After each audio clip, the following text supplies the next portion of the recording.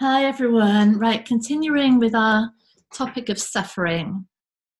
We're looking now at suffering and the film. because this is really fascinating um, what, what's happening in this bubble. So, the any any arising of a feeling of a separate individual self comes with it with a sense of incompleteness, of lack, of, of misalignment, not okayness.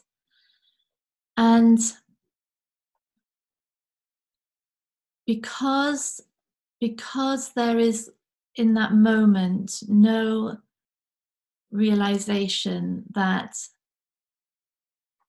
the suffering is pointing out of the film. The suffering is taken as something that can be fixed within this film of self. And that is the root of all conflict, all exhaustion, all stress, all anxiety, all depression, all phobia, all paranoia, all self blame, all um, blame of others, everything. It's it's the, that's the that's that's the essential misunderstanding that with just a glimpse of what suffering is really saying, what it's really doing, freedom freedom, potential, peace, joy. Without that glimpse, the search is on, the resistance is on within the film to try and make that self feel better, to try and make the self secure, essentially. Try and make them make the self something, something constant and objective and real and stable. And it can't do it. It it can it can't happen.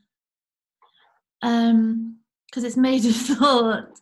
It's made of thought god. I feel quite moved by this because it's so um it's so enormous the it's, it's so tiny and so enormous really. The, the experience of this self trying to find itself and i well know decades of this trying to find itself by in approval in relationships in success in money in um, possessions in awards in qualifications. It it's it, in, in being right you know whatever whatever it's looking for what it fundamentally lacks which is which is stability and security and it can never find it. Not not only because it, it's it's a thought created concept so can't can't ever stabilize itself but also and beautifully really it's it's looking in a reality that is indistinguishable from the self concept itself. It can't they're, they're made of the same thing. So so if i think of me um lightly used me um but if i think of the the struggle of a deeply insecure identity of Clare trying to find itself in work and in approval from others. Oh, every so terrified of getting something wrong, analyzing every conversation, um, trying desperately to read minds of what people thought of me, you know but that is just the same thing it's made of the same stuff. And so and so we can see how this bubble works this apparent reality.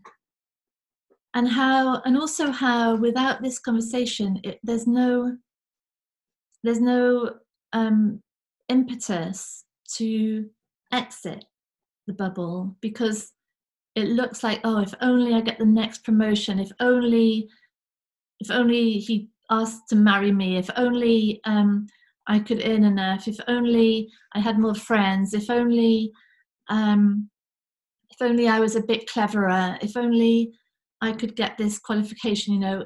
It's on and on and on. There's no end. There is no end to that seeking that that attempt to stabilize an insecure self and there'll always be these things just out of reach of oh if I, if I can get that. So yeah. That's how it is isn't it? I hope i hope we're all starting to see that a bit. The the the the spinning within this within this identity this unfulfillable identity in a world that only reflects that back. Um, and suffering as we said yesterday is the great gift in that. It's the great gift and it's the um, yeah without without this conversation it's it drives us deeper, deeper, deeper into the film. Yeah. Hmm. I think we'll leave that one there. Yeah. Be interested to see what you think. Thank you. Bye.